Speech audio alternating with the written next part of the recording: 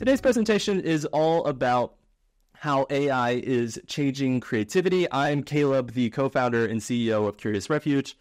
Shelby is the other co founder of Curious Refuge. Ike is actually in the chat as well. Ike is our community manager at Curious Refuge and uh, just does an amazing job with helping us to grow our new community. So I wanted to say hello, and I thought the only appropriate way to do that was to have a six finger hand. Thought it's just, you know, totally appropriate for artificial intelligence. And to kick things off, I wanted to show you guys a video project that I put together entirely using Pika Labs. And this is actually a little bit older, so Pika has improved the results from even what you're going to see here. This came out, I think it was late September, early October. And basically, we had a, project, like a presentation to give out here in LA. And the the prompt was basically to create a fictitious Star Wars concept. And we only had eight hours to put it together before we had to present. So this is the result. I think he's near.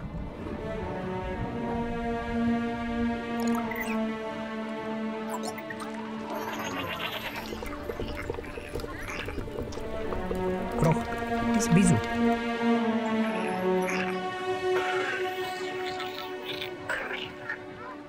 Hello again, Lisa Ratano. I need the artifact. Tunoka. This. So you don't want to play nice? What if I let the Empire know about your illegal operation? I think he's over here. Vale. Jost Levza.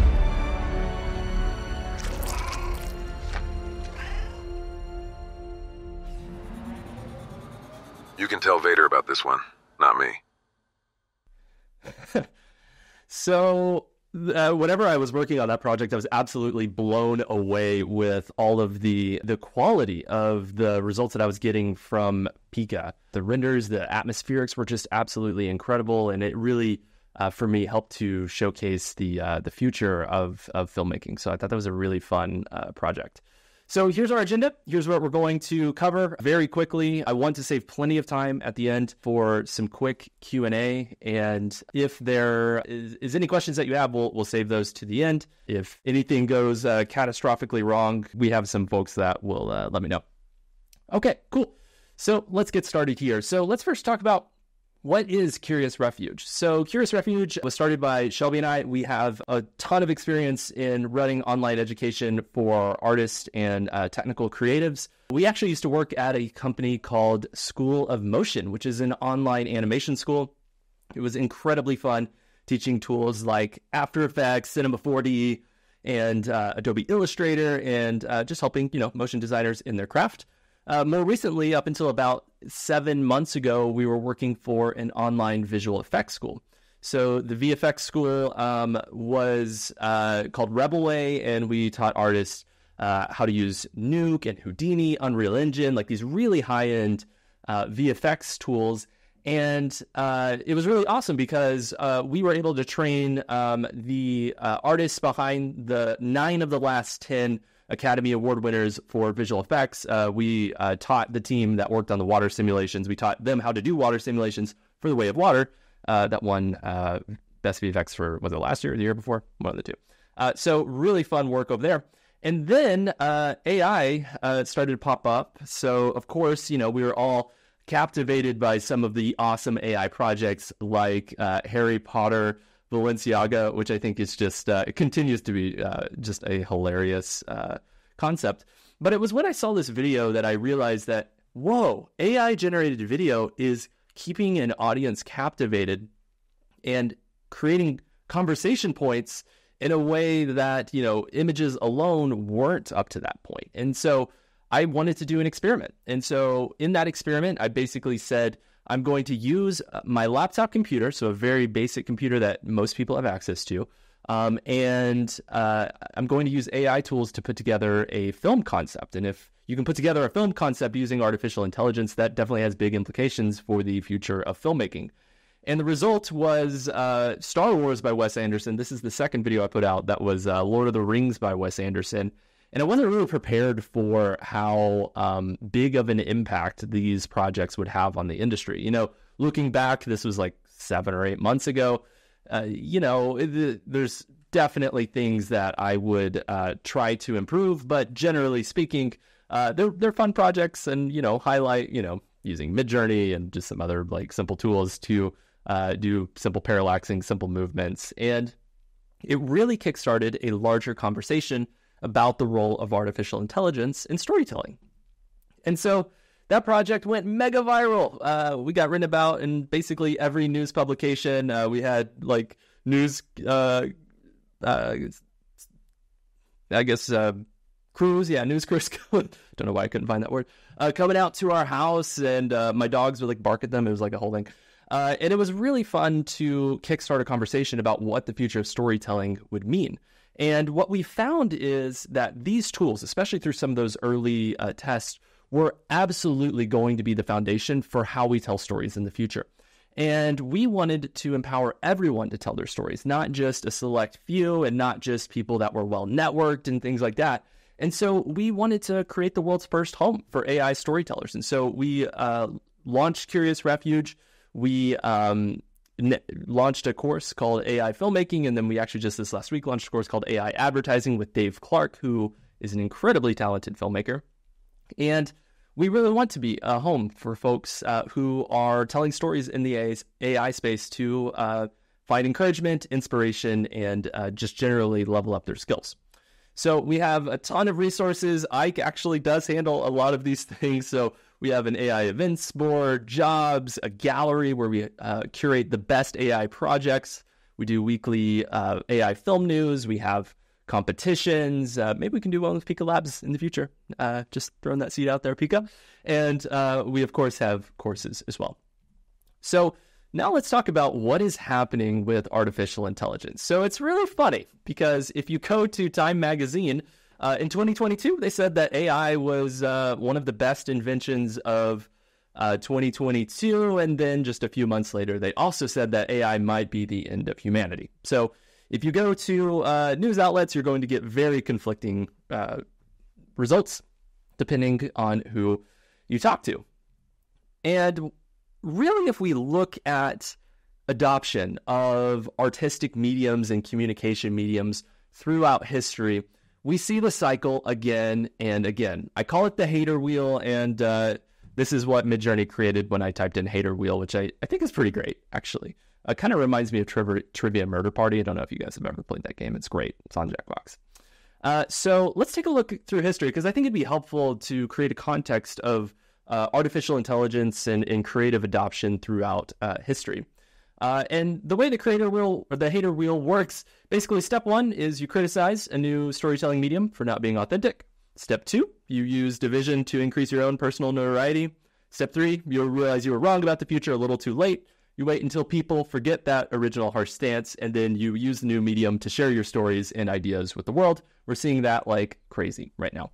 Uh, so let's go back to the invention of the print press. Uh, this guy, Johannes, uh, basically said that uh, only a scribe working on parchment ensures that his work would last more than a century. Uh, but ironically, we only know about Johannes's quote because it was printed out inside of a book. Uh, this guy named Charles said that photography is basically the stupidity of the multitude and uh, you know it's corrupting artwork and you know ironically a few years later he posed for his photograph i'm assuming this is his smile based on his quote but i'm not entirely sure uh, Mir- uh, Maria uh, Mannes uh, said that television provides little sustenance for the mind and the imagination and then just a few years later she begins to share her thoughts on the BBC. And David Lynch, who is an incredibly talented filmmaker, amazing guy, uh, said that digital filmmaking was a great sadness for him. But then just a few years later, uh, his new show, Twin Peaks, was shot entirely on, you guessed it, digital cameras. So it's very normal for people to have reservations to new storytelling mediums. Uh, we don't like um, focusing too much on uh, the negativity. While it's helpful to have great conversations. We want to push storytelling forward and empower everyone to tell awesome stories. And uh, one example of that, I'm going to play this back here. Hopefully, the audio is okay for you guys.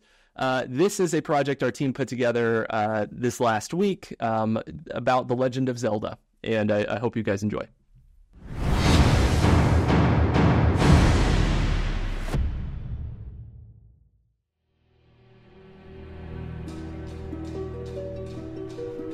Legend tells of an object of great power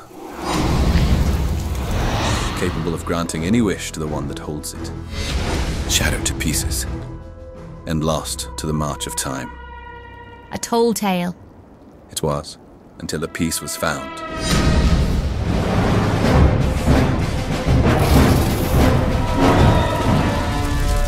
There is one who has the courage to save us. Zelda, you must find.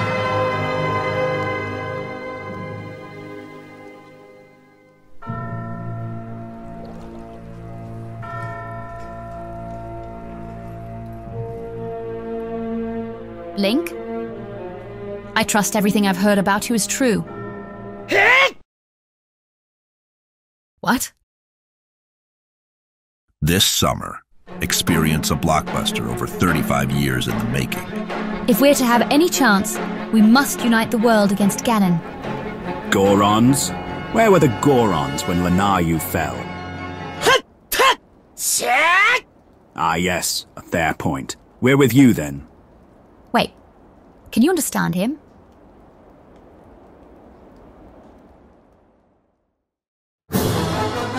Starring Orlando Bloom as Link, Miranda Otto as Zelda, Viggo Mortensen as King Rhoam, Cate Blanchett as the Great Fairy, Andy Serkis as the OK Fairy, and Owen Wilson as Ganondorf. Wow. The Legend of Zelda, directed by Peter Jackson.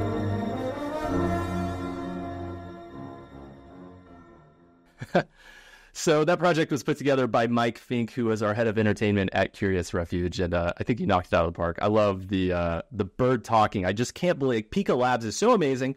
Uh, I'm not just saying that because they invited me to come on. Like I can't cannot believe uh, it did that animation. It was really incredible. Uh, so let's talk about what is happening specifically with creativity. So when you whenever you're thinking about artificial intelligence, whenever you are working on a creative project, you know you are no longer labor alone. So focusing on the uh, specific technical ways in which you have to share your creative vision and get it out there um, is less of a concern. And what is more of a concern now is curating that specific story to match your creative vision.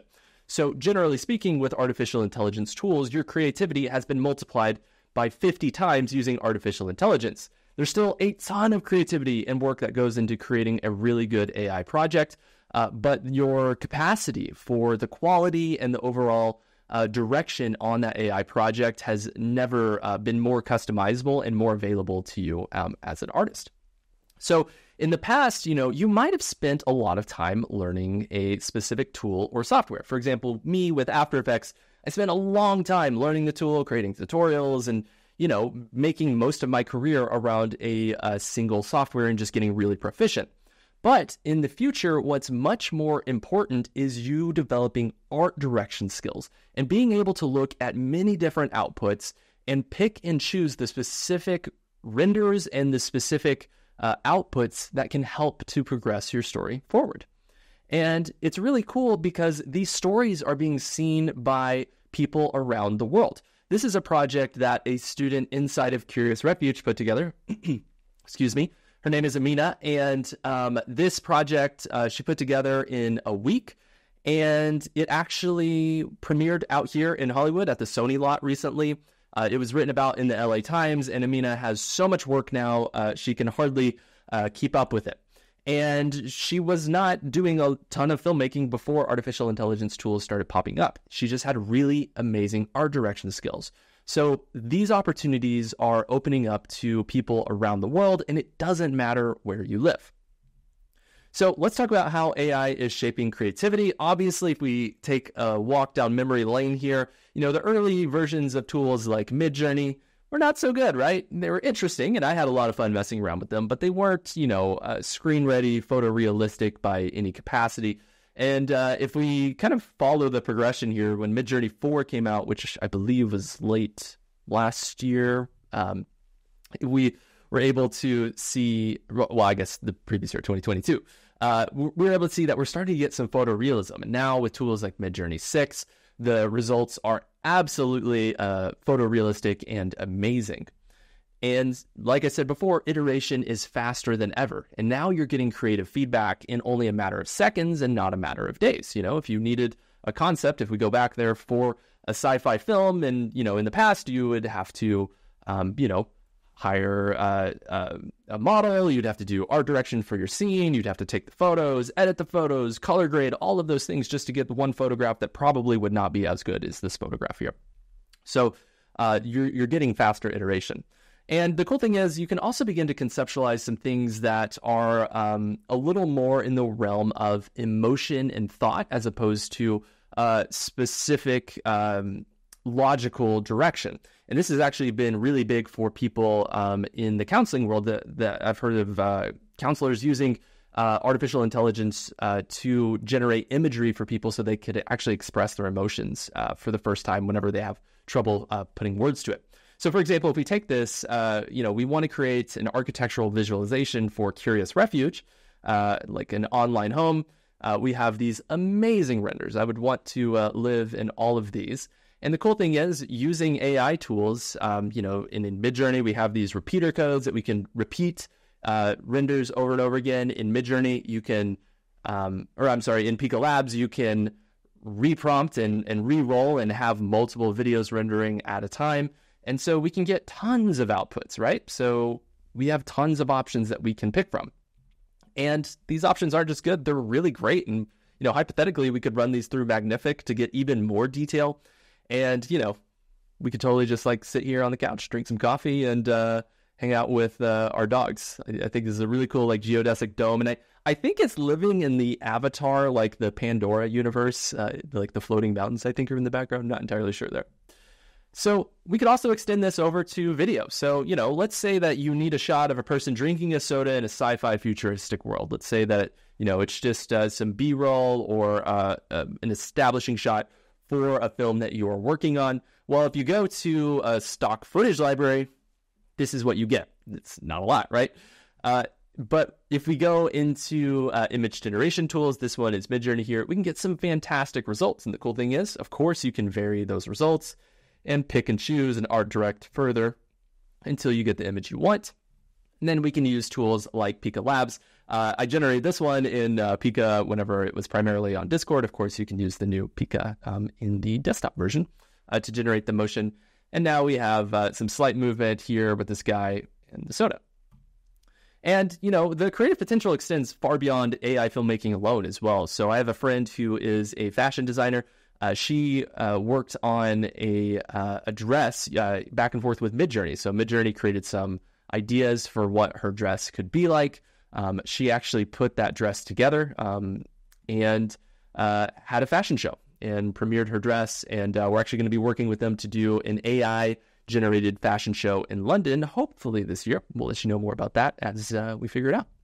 So, the question is, how can you stay relevant? You might uh, feel like this woman here, like, oh my gosh, like things are changing every day.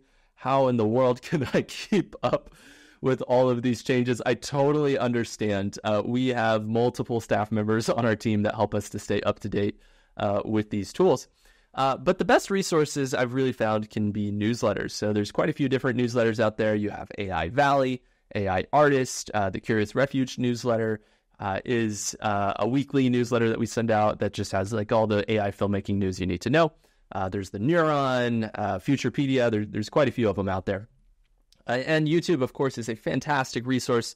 So Matt Wolfe is a fantastic resource for all things AI. Tim at Theoretically Media is a great friend of ours. He has a fantastic channel. And then, like I said, we do our weekly film news um, at Curious Refuge as well. And then, obviously, going uh, to uh, social media platforms, Twitter uh, is a great tool for um, looking at kind of what is trending in the AI world. So uh, we have Nicolas Neubert, uh, Pika Labs, uh, Curious Refuge. You can't, you know, if you go on to Twitter just for a few minutes, you'll you'll find some fantastic um, demos and examples of the latest AI tools. And then we also have a gallery over at Curious Refuge where we, um, you know, curate the the latest uh, film projects, and you know, you can use that for your creative inspiration. And generally speaking, I say become a lifelong learner. You know, growing in your skills, being willing to to grow and progress um, is going to be more important than ever before. But you know, you're already an early adopter in these tools, and so I think you already understand that.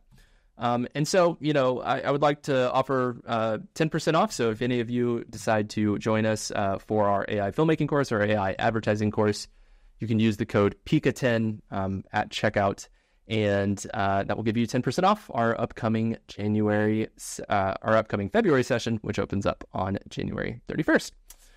So that's the end of the slideshow presentation. Now let's get into the nitty gritty demo here. So I want to walk you through the exact process of how I put together um, AI film concepts. Obviously, we're not going to be able to get into everything, uh, but I will try to get into a lot of the uh, tools and techniques that I use. Um, if you have any questions, uh, please save them towards the end and uh, I will cover them. So let's get started. So let's start from the scratch. So, or from the, the very beginning. So, whenever I'm working on an AI project, I almost always like to use ChatGPT as a springboard for ideas. And that's really what where ChatGPT thrives. Writing scripts alone, not so great. Sometimes it can be helpful uh, for marketing projects or if you have, you know, shorter scripts. But generally speaking, it's a creative assistant. Think of it as someone you can bounce ideas off of. So, for example, I wanted to put together a video demo for you guys here uh, for the Pika Labs presentation and um, I was like, I want something with animals. That sounds fun. Uh, and I, it came up with all of these ideas here, and I liked the seahorse idea. And so I went to Google and started doing some research about seahorses. And apparently, there's this cute little yellow seahorse called a dwarf seahorse. And I was like, I gotta see that uh, in video form. And so uh, basically, then you need to create the images for your projects. Now, you can use text to video, but I do find that using images first and then converting them into video can tend to be a little bit better experience, not only because it's a little bit faster, but also the consistency is a lot uh, easier to control as well. So uh, we'll go over here to uh, actually, instead of going to Discord, because I don't want to uh, close out our uh, Discord channel, I'm just going to take you over to uh, my Midjourney feed here. And you can see uh, here are some results. I, I didn't get into a lot of prompting here. I just said a yellow dwarf seahorse, and you can see that most of these images, they seem kind of the same. They're a little boring. I wouldn't say they're very cinematic. It just looks like, you know, someone took a macro image of a seahorse and then, you know, uh, uploaded it. It's cute, but it's not very cinematic. And that's where we get into prompt trees. And there might be a, a better word for this, maybe long tail prompts, things like that. But whenever you are prompting uh, a cinematic scene, typically you want to go way beyond just a simple, uh, you know, prompt like, you know, a seahorse or something like that. You want to actually give direction to your image generation tools that will give you specific um, results that are more repeatable and the style can be more consistent.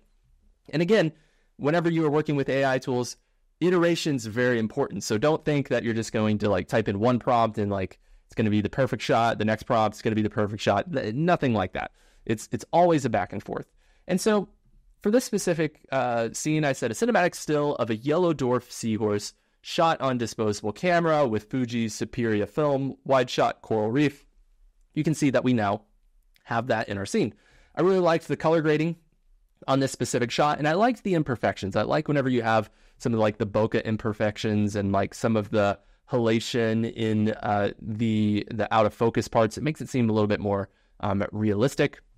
And so there we go. Now we have an image. So now we need to upres that image because natively, whenever you get an image from some of these AI tools, the resolution usually isn't much more beyond like 1100 pixels. Um, and I like giving um, the AI video generators the most sharp, you know, the nicest image quality possible. So I have the uh, the project here. Oh, one second. Let me find my folder. There we go. Uh, so I have my Midjourney image here. You can see that um, you know it's looks good, but it's a it's a little small. It's only 800 pixels tall, so that's not even uh, full 1080p HD. And I'm using a tool called Gigapixel here. So Gigapixel is my favorite image upresing tool. Uh, there's kind of a competition right now. There's a uh, competition between Magnific and Gigapixel. Gigapixel has been on the scene a while. um, they use AI to upres images, and we can zoom in here. I only have this at times two, but you can already see that this one is much less pixelated. Hopefully, um, that quality is coming through here. And you can see that it stays very true to the nature of the lens that was used um, to, well, I guess the hypothetical lens that was used to uh, shoot this scene. So it, it's much more realistic um, in some of the the the, the glow in the, the lens qualities that you would expect to see. And uh, I, I, really love using it. It's very fast. Um, and it's a one-time purchase, and they have updates. Actually, uh, just like two days ago, they created an update, and they have an even more advanced um, algorithm for um, their standard in high fidelity, which is super exciting. This is the stuff I, I geek out about, guys. I apologize. Um, and then uh, Magnific is uh, the other tool that's making the rounds. If you've seen some of those like Twitter videos of people like zooming into a cheeseburger infinitely, uh, they've been using Magnific. Uh, basically, the tool allows you to really dramatically increase the scale. You can go up to 16 times, which would make this image, I don't know, like 10,000 pixels wide.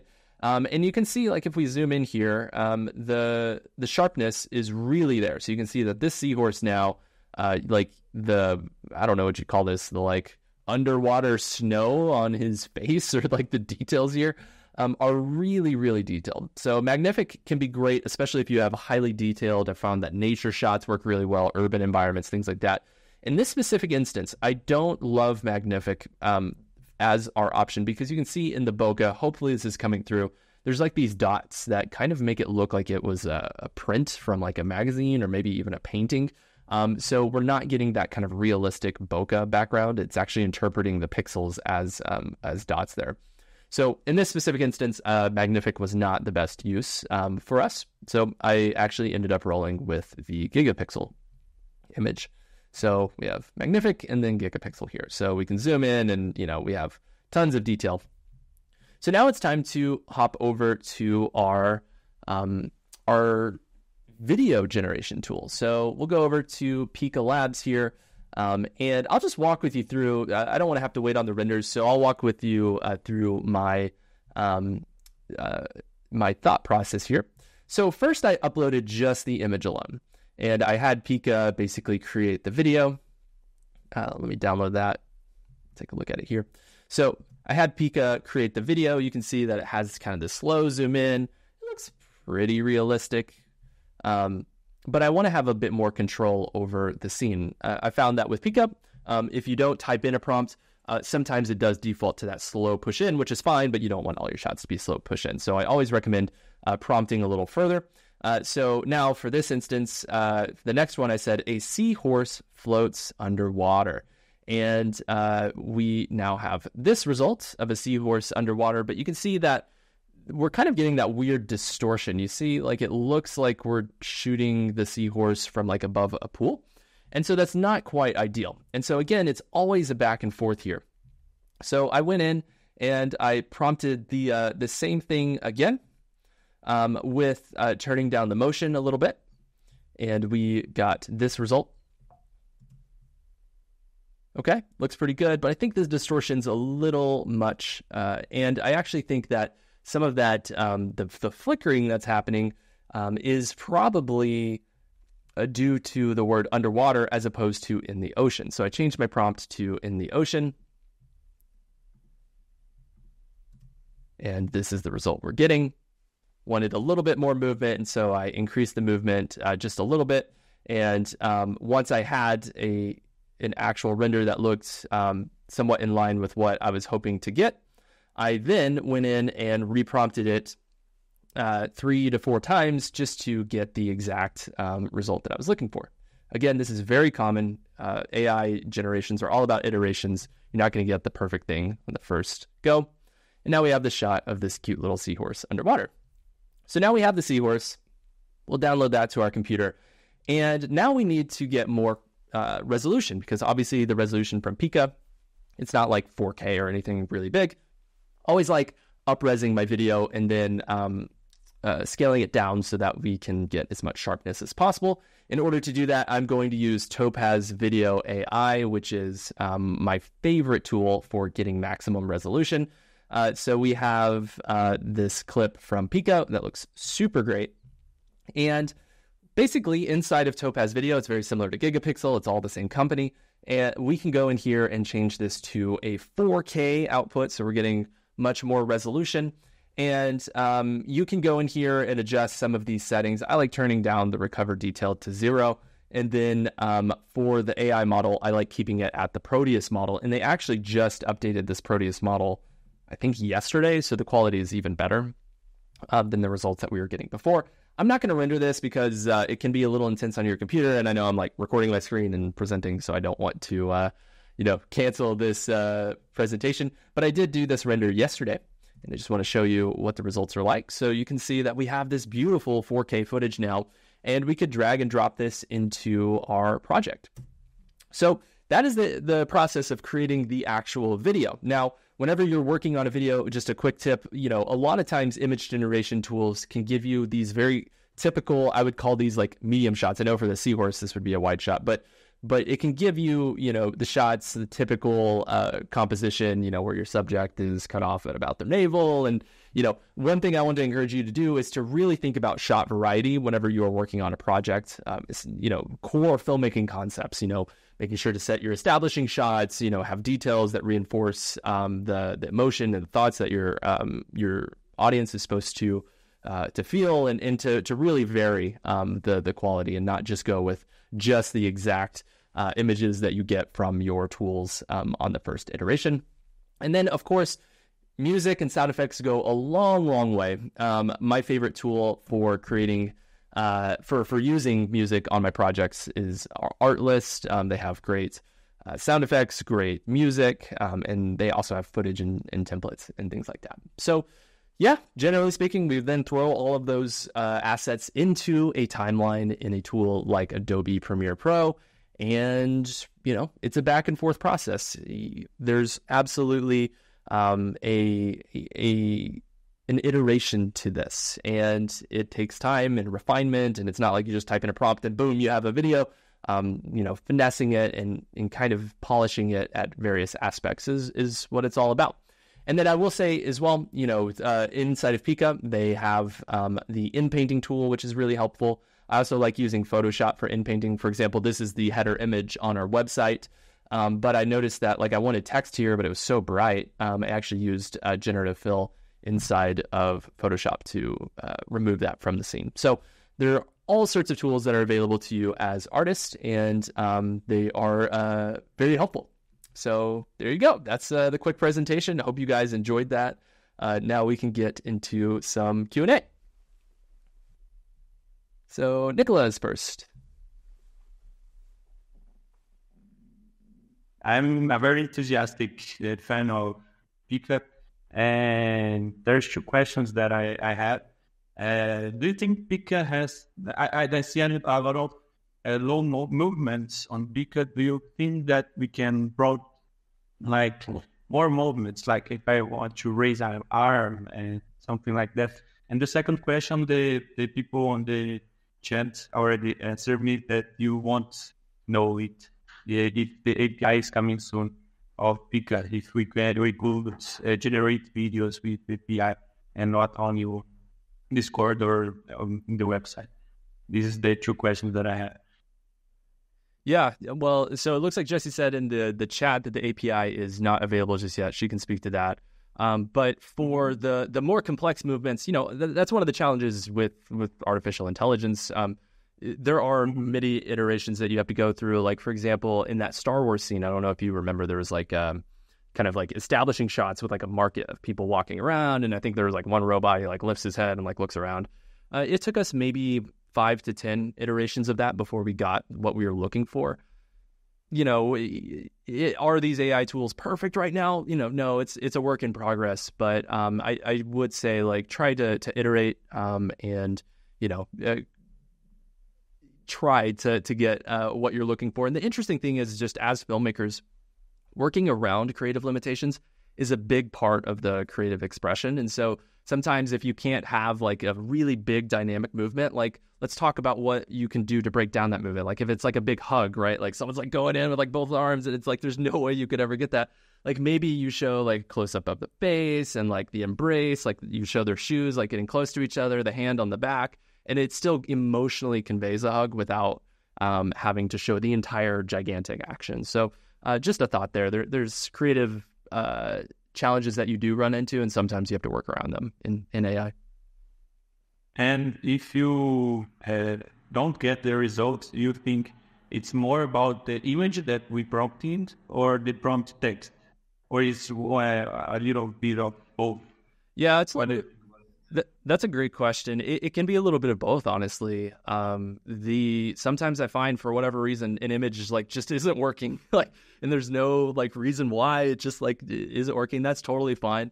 Um, I I found that the prompts, the the image that you're putting in matters more than the prompts that that you're typing in. Typically, when it comes to those those big movements, so you know if it's not working with okay. uh, one image, you can try another. okay, thanks for the answers. Yeah, thank you so much. All right. All right, so we'll go to uh, Rhapsody next. Hello. Hey there. Can you hear me? Yes. Yes, amazing. Um, thank you for your great presentation. I think it's really uh, enlightening to see what other people are doing with these tools. Um, what I wanted to ask you is a general perspective question. Like, what I find great with these AI filmmaking tools is that they allow for a lot of explorative filmmaking where you don't know what your outcome will be uh, until you start.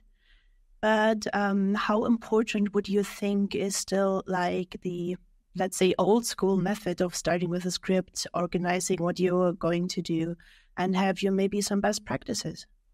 Yeah, yeah, absolutely. Thanks for your question. I appreciate that. Um, there's yeah, there's a lot to be said, honestly. And and when we are, we are thinking about um, AI filmmaking, there really are two paths. There's you know one path that is using AI to supplement the existing filmmaking pipeline.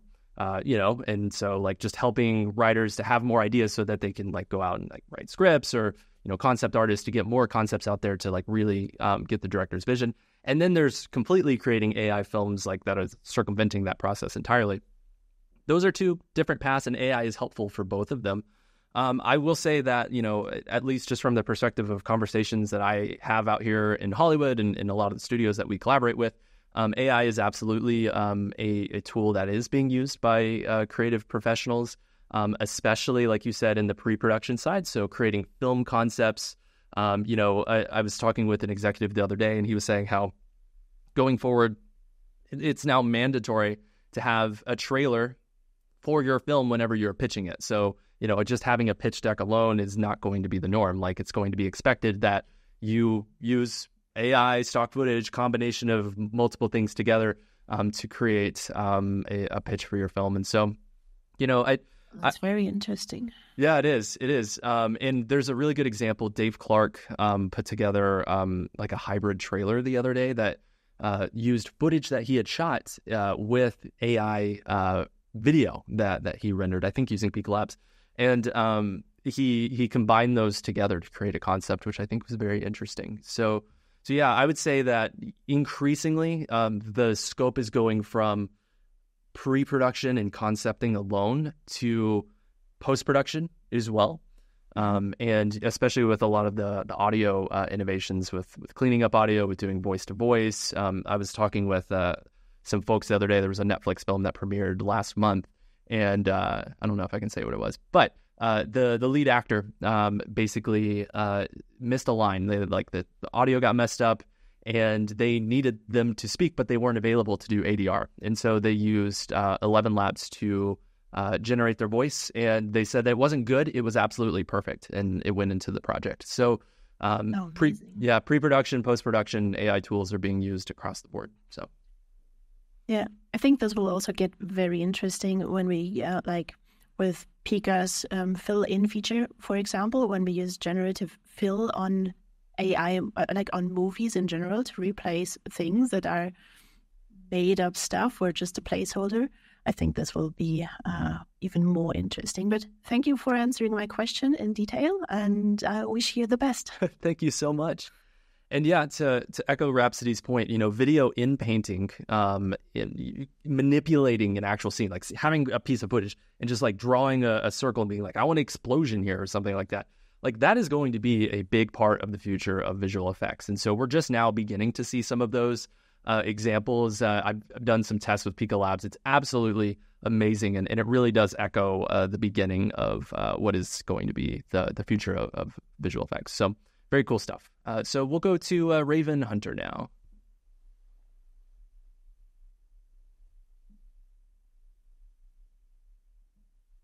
Uh, well, uh, just a quick question. Uh, what do you use to animate the mouths on your Pika videos? Yeah, you know, it's simple prompts, you know, like person talking, things like that. Uh, and it, it does a good job. Uh, you know, obviously, it, again, it's an iterative process, so you may have to do a few renders to get the exact mouth movement that you're looking for. Um, but especially for kind of non-human characters, uh, Pika Labs is really the only tool that I can think of uh, that is uh, really helpful for generating those realistic uh, mouth movements. It's really uh, one of the areas that they they shine. How do you match? Let's say you use a voice from Eleven Labs. How do you match the mouth movements? Sorry, that that's all my question. No, no, that's great. Uh, so uh, half of it is is is editing. so the interesting thing okay. is, yeah, with that bird, right? Like it's a, a talking bird. like we have no idea like what the lip movements of a talking bird should look like. Um, and it, it, was kind of similar to that new Dungeons and Dragons movie, the the Jeremy bird that they have. You know, yes. kind of this Jim Henson esque, like just like large mouth movements that don't necessarily have to fully match. And so I think with the Zelda project, we, we specifically were able to to benefit from that. But um, it, yeah, it, it's editing, just cutting in and out, cutting to a reverse shot of the person you know, listening to the person talking. You know, there are things that you have to work around at this point, but it's totally fine. All right, I yeah, no problem. And you can use D-ID as well um, to do some like you know mouth movements and things like that. But it's uh, not not ideal. I, I, I think that the results you get from D-ID, unless you're compositing and going into a, a tool like After Effects or something like that, um, it's not um, it's not the most ideal. Okay, thank you. no problem. All right, a longboard.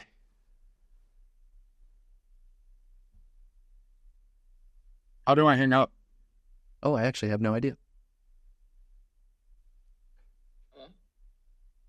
Hello. Hey, Caleb. Thanks for your presentation. Of course. Thank you. My question is Do you have any tips on keeping a consistency between shots and in the scene uh, regarding color and characters? Yeah, yeah, that's those two things. I mean, this is like one of the bigger challenges with AI. So the first color that that really does coming come down to figuring out your prompt tags um, to include um, at the end of you know every image generation that you do. Um, so inside of Midjourney, there's a tool called uh, Prefer Suffix. So basically, um, you have the ability to save a, a string of tags that will be appended to the end of every generation you create. And so what I like to do, I'll go back and forth with testing different styles. Like um, for the Star Wars scene, it was like um, uh, muted, muted uh, gray color grading shot on an IMAX camera. Um, and then I think there was one more tag. And then once I realized, like, oh, I really like this style, I appended that into the uh, the Midjourney prefer suffix tag, and then every generation I created had those tags at the end, and it created the consistent color grading.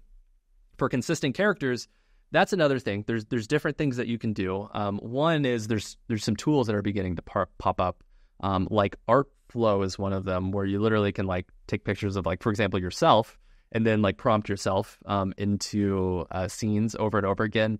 LoRA models and Stable Diffusion have been around for a while, and it, it's much more technical, but you can do it that way um, as well. And then you could also prompt generally for kind of who the person is and then face swap. So, for example, with me, with the AI film news segments, like th- there's always like a face, like it's like me, like in like uh, like uh, action movies and stuff like that. And we've basically had to figure out what is like my likeness, like who am I like, and you can use like AI tools to figure out uh, who your character is like. For me, it was like a 30 year old Christoph Waltz, and so we'll uh, do like a, a 30 30 year old Christoph Waltz and then face swap and then like prompt for like brown hair and actually I guess increasingly gray hair. And uh, then we're we're good to go. Um, and uh, use Insight face swap and, and tools like that. So uh, it's a back and forth. It does depend on your scene. I'm sure that these image generation tools, um, like you know, like Midjourney, uh, will um, have um, training models uh, in the very near future. But it's just uh, you know one of the the limitations that you have to work around right now. Awesome, thank you. W- would you say it's just a couple of words then to be able to get the the look you're going for? Because I've seen a lot of where it's like 20, 20 plus. Would you say the fewer has been the best? Yeah, absolutely. Yeah, if you start typing in long prompts, will give you inconsistent results. So try to be as concise as possible. Um, there are um, some resources out there that can help you. I would say whenever I'm prompting, um, I the the bulk of my prompt is going to be the direction, like the composition. What do I want to see? You know, what the action is, what the scene is like, and then I will briefly prompt in the the color grading and the the the film stock and, and things like that towards the end. So I would say like a good prompt is probably no more than twenty words. Um, like when people like prompt like paragraphs, I'm always in like they look amazing. It's just simply because they got lucky. Like there's no way they could reprompt with those paragraphs again and again, which is very important for us as filmmakers. gotcha. Thank you. Appreciate you, Caleb. Yeah, of course. Thank you. All right, so we'll go to Beard Dreamer. Not sure if I'm saying that right.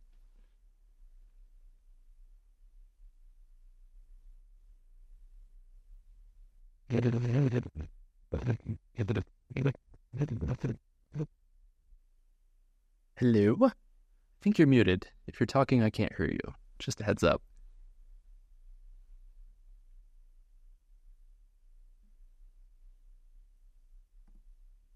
Hello.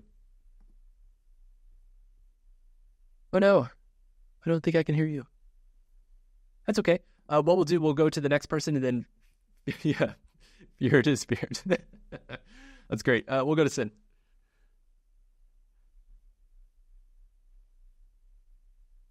Hi, Caleb. Hey there. Pleasure to be here. Your presentation. Thank you. So um, I've recently signed up for the class, and I don't know when I've had so much fun. um, it's, it's an absolute fun class. I've learned a, a, lot of new things. There's so many new tools, and I had fun playing with a lot of them. Um, but I do have a question with animation. Um, I see a lot of students who are doing this sci-fi and all that, but I chose to go in a slightly different direction uh, with a cartoon thing. Is the best tool um, the Wonder Studio or Pika for what I wanted to do? Because I have a flat character, but I'd like to turn that character 3D. Mm-hmm. Yep. So you have a flat character you want to turn 3D. Is this flat character? Did you draw this character, or, or it's like an image from like a an AI tool? I yes, I used all the AI tools, all of which are brand new for me. Uh, this week, I learned how to use Midjourney. I learned how to use uh, prompts. I learned from others. Um, so I did prompt some characters um, in a Pixar style, Great. and you know I had to keep messing with it. Um, I used several different tools. I used um, DALL-E. I used Chat GPT four. Yeah.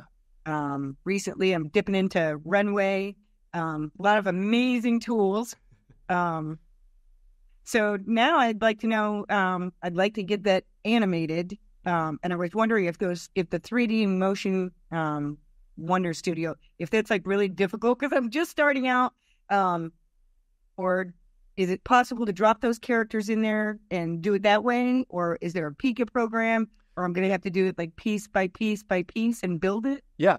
Well, there's there's entirely different options for you. Uh, so Wonder Studio, excuse me, Wonder Studio, like what you're talking about, just so um, everyone is on the same page, is the tool where you basically can shoot reference footage, and then you just drag and drop basically a 3D model, and it converts the person that was in your footage into a 3D model, and you can either you know just have that that uh, 3D model comped into the actual scene that you shot, or you can just take that data and put it into a 3D application like Blender or you know Cinema 4D, Maya, whatever 3D tool you want. Um, that tool is awesome, uh, but uh, there that is significantly more work than simply taking the images and prompting. I think it really just depends on how uh, dynamic and how refined you want your final piece to be. So if this is just like a pitch trailer or a project for kids you could probably get away with just using uh, images and then prompting either in Midjourney or um, in some of those other tools, like I was talking about, like Artflow, that allows you to train it on a character and get those consistent renders over and over again. versus having to go now, you know, now you're new to Midjourney and then you have to go learn a 3D application. It might be a, a little much. So I would probably say if it's okay to to have the quality not be quite, you know, silver screen ready, uh, you could probably go with the the image uh, to video models like we talked about today. Um, but you know, it, you you absolutely could learn uh, 3D uh, tools like Blender pretty quickly. You know, it'd probably take a good month to to be like really competent and up to speed. Um, but you know, if if it was a, a professional project, you might want to go that route as well. Okay, thank you. Yeah. Um, and then uh, you know we'll go ahead.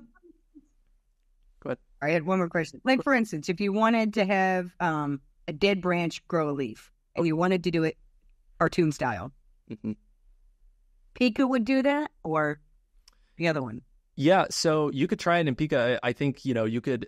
I would do that in reverse. So what I would do is have like uh, the image generated with like a, a, a leaf on it, and then I would probably in Paint. So use the the tool inside of Pika to to remove that section, and then I would say like a leaf retracts or something like that. It might be a little bit easier than the leaf like being born, and then play the footage in reverse once you you get it. Oh, yeah, a lot of times we we do that with visual effects. Um, at Curious Refuge, we'll actually do the scene in reverse and then uh, play it in. Well, we'll prompt it in reverse and then reverse that footage, and then it looks like it's real time. It sometimes is better uh, to go backwards like that. Got it. Thank you. Yeah, of course. All right, guys. So we'll take like maybe one or two more uh, questions or if uh, that's the last one, I mean, we're right at an hour. So if anyone has a last minute question or request, feel free to hop in. Uh, so we'll see. David. David? Oh, wow. Lots of AI puns. That's great. One last question. All right, David. You're our last one.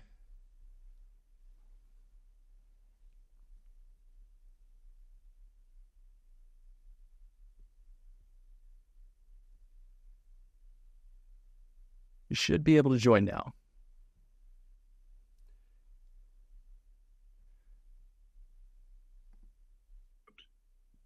Okay, can you hear me? I can hear you. Okay, cool. Because I, I just asked the whole question, but I'll start over. Um, so it, on your projects and like with what Dave Clark's doing, because he comes from traditional filmmaking, are you storyboarding those out? Like you're scripting them out and storyboarding them out, and then you start piecing it together in the editor with um with like your still images, and then and then animating those still images it, like through Pika. Yeah, I mean, like, what's the workflow there? Yeah, that's that's helpful. I, I actually do find so uh, I didn't talk about this in the presentation, but this is a, a great point. Um, sometimes, and it does depend on the project. Sometimes it's better to start with the images and the audio, and then work with the video, as opposed to just starting with the video. That's a very different workflow from like a professional workflow, because usually it's like you have the footage, and you need to work around the footage. Um, but I, because sound is so important uh, for AI projects, a lot of times we'll make like a radio version, and then we'll take images and like cut into that radio version, and then we'll go into the video tools to, to generate the videos. We'll drop them into our timeline, you know, iterate, go back and forth, and then when we're happy with the low res version, we'll then take all those video clips and upres them in Topaz Video. So there's a lot of different, um, like th- there's steps there, but we like kind of treating it more like a radio drama first, and then in a slideshow and then a, a low res video and then a high res film, right? So um, it's it's an iterative process, but that's yeah, generally it's really helpful because it's kind of the music and, and the, the audio is obviously critical to the whole thing, and so you've got to cut your videos to match your audio. So yeah, that's really helpful. Thank you. Of course, yeah, and and that's if I could give anybody like some advice here, it's absolutely focus on your audio, guys. I think a, a lot of folks like spend so much time getting the visuals together, but then they just slap on just some random song with no care to like how it cuts to the music or anything like that. So um, spend some time uh, and, and, please, okay, this is like my my pro tip. People uh, who uh, master CDs do this as well, but like listen to your audio on your phone or off your laptop and not just your headphones before you publish it. Most people that consume your film is they're going to do it in a less than ideal medium. And a lot of times your headphones can make something sound completely different than what it sounds like to the average viewer. So be sure to preview it on kind of like a lesser acoustic environment. uh, before you you launch. I, hear so many projects where like the music is just way too loud, you can't hear what the people are saying. So uh, yeah, just think about that. All right, guys. Well, thank you so much for joining us for this live stream. I, would like to extend a huge thank you to Pika Labs for inviting me on. I uh, had a really great time uh, and would love to uh, come back maybe in the future. Um, of course, if you guys want to uh, learn more about Curious Refuge, you can check us out at curiousrefuge.com. Uh, we have AI film news coming out in just a couple hours. There's a ton of new updates. Uh, you can check that out on our YouTube channel. And um, yeah, thank you uh, so much. Uh, love the encouragement. And uh, if you guys um, happen to be um, at one of the AI filmmaking events out in LA or um, in Europe, be sure to check our, out our events page. there's a good chance we may be there. So, thank you guys so much. And uh, yeah, have a wonderful weekend. Bye.